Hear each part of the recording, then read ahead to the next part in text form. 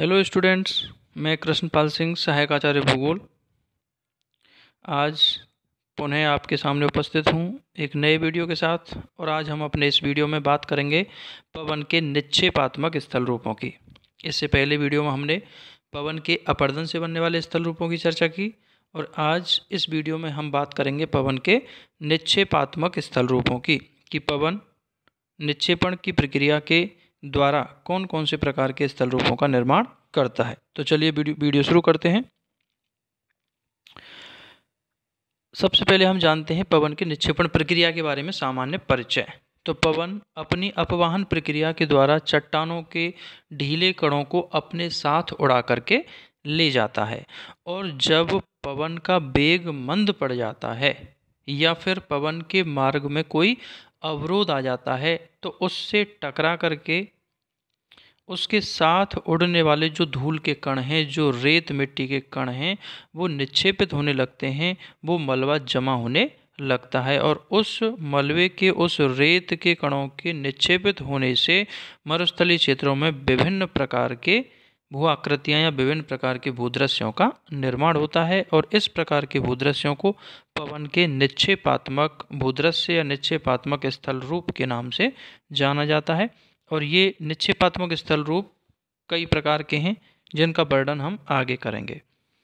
तो चलिए, अब हम बात करते हैं पवन के निक्षेपात्मक स्थल रूपों की। तो सबसे पहला और सबसे महत्वपूर्ण जो निक्षेपात्मक स्थल रूप है पवन का, वो है बालू का स्तूप। जो कि रेगिस्तानी प्रदेशों की एक बहुत ही महत्वपूर्ण विशेषता है और रेगिस्तानी प्रदेशों में पवन के द्वारा उड़ाई जाने वाले धूल के एक जगह पर इकट्ठा होने से या निक्षेपित होने से जगह जगह इस प्रकार के रेत के ढेर या टीले बन जाते हैं और उन रेत के ढेर या टीलों को ही बालू का स्तूप के नाम से जाना जाता है। और बालू का स्तूप एक इस प्रकार का भूदृश्य है जो निरंतर गतिशील रहता है, जो स्थायी नहीं होता, अर्थात बालुका स्तूपों की स्थिति में निरंतर परिवर्तन होता रहता है। क्योंकि बालुका स्तूपों का निर्माण बालू या रेत के द्वारा होता है और रेत काफ़ी ढीला होने की वजह से पवन के द्वारा आसानी से इधर उधर उड़ा लिया जाता है और इधर उधर प्रवहित करने की वजह से बालुका स्तूपों की स्थिति और स्थान बदलते रहते हैं। यही कारण है कि बालुका स्तूप स्थानांतरणशील होते हैं या गतिशील प्रकृति के होते हैं।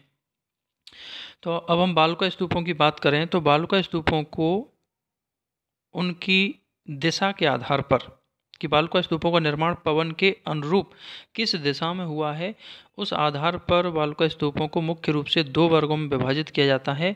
एक है अनुधैर्य बालुका स्तूप और दूसरा है अनुप्रस्थ बालुका स्तूप।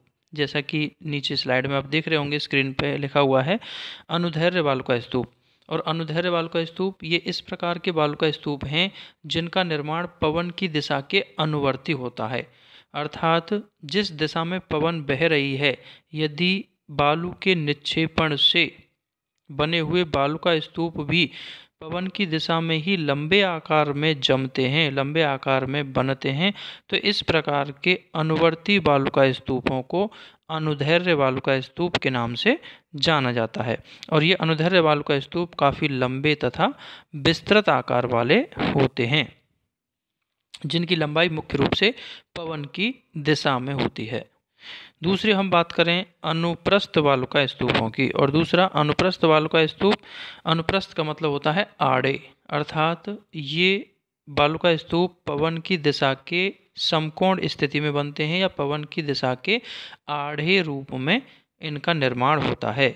और ऐसा ज़्यादातर तब होता है जब पवन के मार्ग में कोई अवरोध उपस्थित हो, और ऐसी स्थिति में उस अवरोध के कारण पवन के साथ उड़ने वाली जो धूल है, वो एक साथ निक्षेपित हो जाती है और पवन की दिशा के आड़े प्रतिरूप में बालुका स्तूपों का निर्माण हो जाता है। और इस प्रकार के आड़े प्रतिरूप में बने हुए जो बालुका स्तूप हैं, वो अनुप्रस्थ बालुका स्तूप के रूप में जाने जाते हैं। तो ये बालुका स्तूप थे।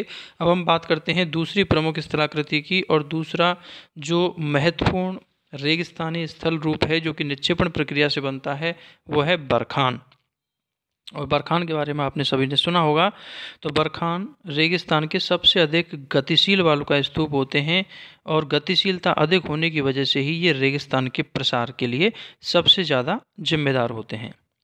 हालाँकि बरखान जो हैं, वो अनुप्रस्थ प्रकार के ही वालू का स्तूप हैं जो हमने बालू का स्तूपों को दो बड़ा वर्गीकरण देखा, अनुधैर्य और अनुप्रस्थ। तो उसमें बरखान अनुप्रस्थ प्रकार के ही बालू का स्तूप हैं, लेकिन अपनी विशिष्ट विशेषताओं के कारण इनका अलग महत्व है और इसी वजह से इनको अलग वर्ग में वर्गीकृत किया गया है।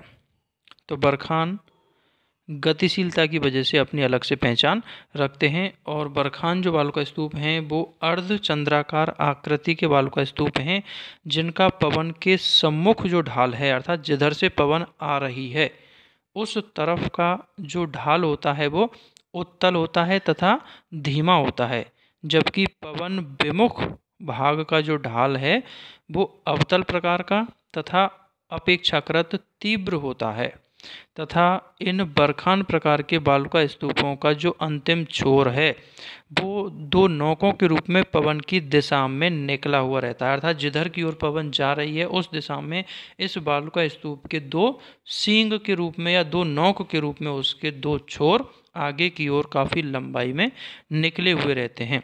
और इस प्रकार के विशेष आकृति वाले जो बालुका स्तूप होते हैं, इनको बरखान के नाम से जाना जाता है। तो ये बरखान और ये अत्यधिक गतिशील होते हैं क्योंकि पवन के द्वारा सम्मुख ढाल से रेत को विमुख ढाल पर स्थानांतरित किया जाता रहता है और यही कारण है कि ये बरखान निरंतर गतिशील रहते हैं और निरंतर आगे की ओर पवन की दिशा में बढ़ते रहते हैं। अब हम बात करते हैं अगले प्रमुख स्थल रूप की और अगला प्रमुख स्थल रूप है उर्मिकाएँ। रेगिस्तानी क्षेत्रों में उर्मिका एक बहुत ही रोमांच पैदा करने वाला स्थल रूप है, जो देखने में पर्यटकों को काफ़ी रोमांचित करता है। और मरुस्थली क्षेत्रों में जब मंद गति से बहने वाली जो पवन है, वो अपनी गति के द्वारा रेत में लहरों का निर्माण कर देती है और दूर से देखने पर ऐसा लगता है जैसे सागर की लहरें दिखाई पड़ती हैं। तो उसी तरीके से रेगिस्तानी प्रदेश में भी रेत की लहरों का निर्माण हो जाता है और इस प्रकार की जो स्थलाकृति बनती है, उसे उर्मिका के नाम से जाना जाता है। जैसा कि आप नीचे चित्र में देख रहे होंगे तो रेगिस्तानी प्रदेश में ये विस्तृत जो रेत के क्षेत्र हैं विस्तृत रेत के क्षेत्र में बहती हुई पवन के द्वारा इस प्रकार की लहरों जैसी आकृति का निर्माण हो जाता है, और इसी प्रकार की लहर नुमा जो संरचना है, लहर नुमा जो आकृति या भूदृश्य होता है, उसी को और मेकाओं के नाम से जाना जाता है।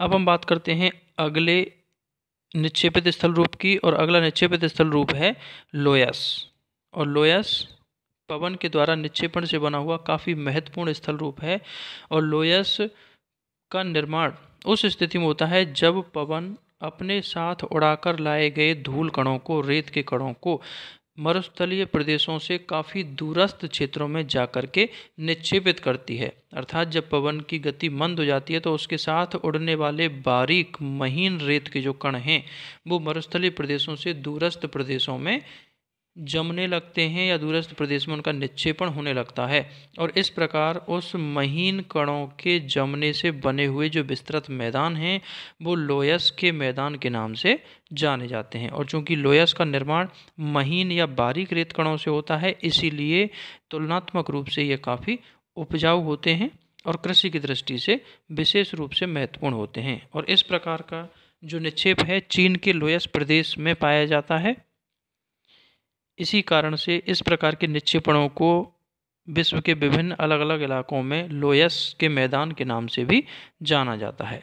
तो इस प्रकार से ये जो हैं, पवन के द्वारा निक्षेपण से बनने वाली विभिन्न प्रकार के भूदृश्य थे जिनकी चर्चा हमने इस वीडियो में की। उम्मीद करता हूँ आपको मेरे द्वारा दी गई जानकारी अच्छी लगी होगी।